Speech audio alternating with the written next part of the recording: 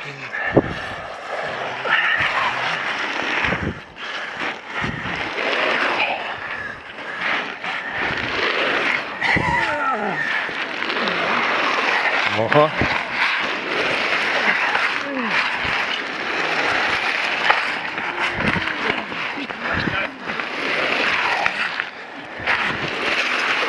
sa oled teinud palju paremini kui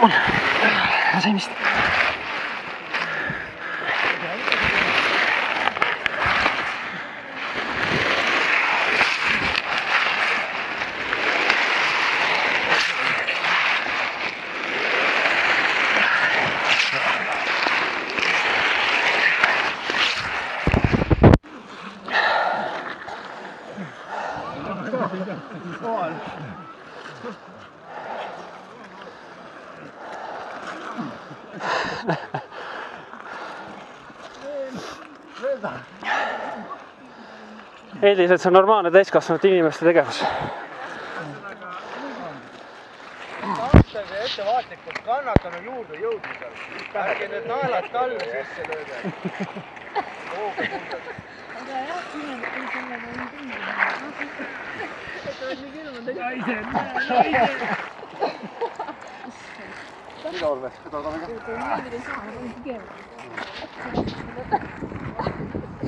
ja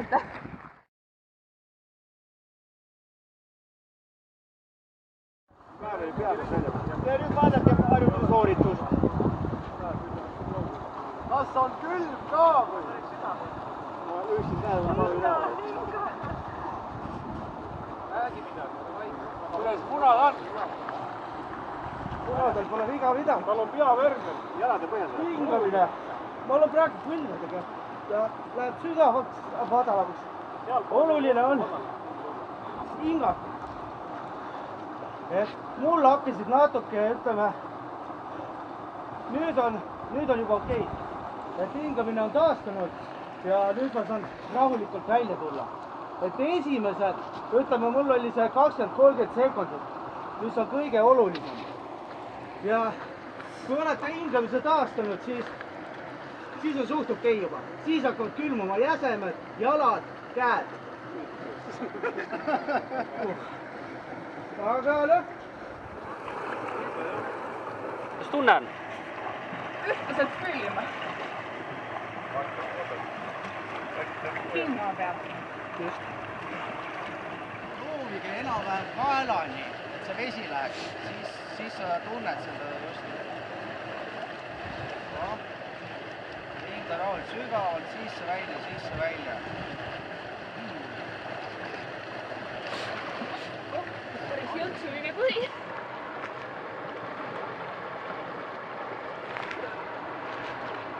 halb mõte on pead väljastada. hoidke, hoidke pea nii kaua kuiv, kui jaksate.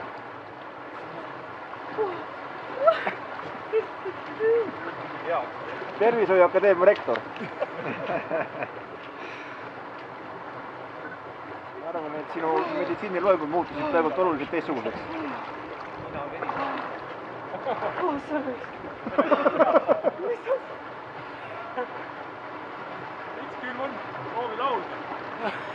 karju appi.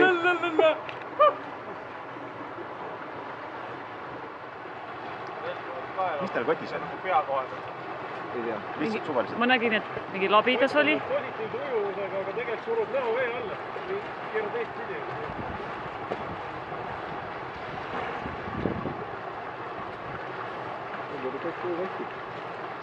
hästi pakib.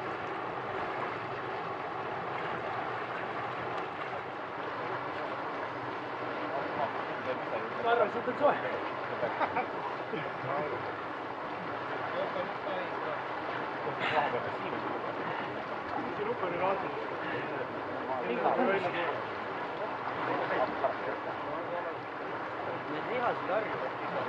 Oma kaamerasse ka tervituse öelda. ärge tehke seda kodus järgi. päris, päris valus ja sihuke.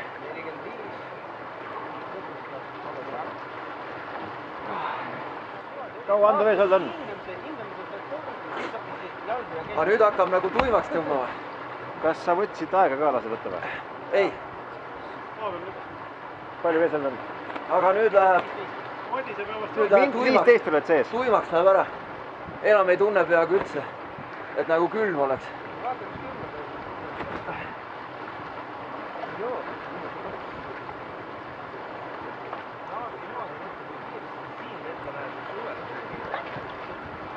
Skogs.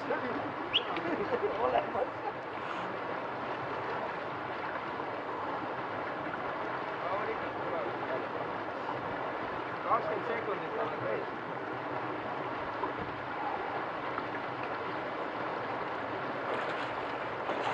viiskümmend üks siis hakkab kohe.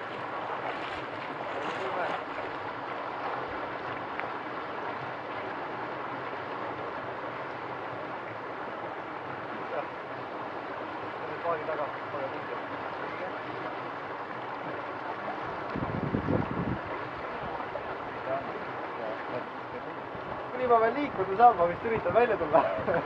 kolm on ära juba või? aeg venib. aeg on alles neli minutit pärast jälle, kolm, kolm, ei. noh, nüüd on või?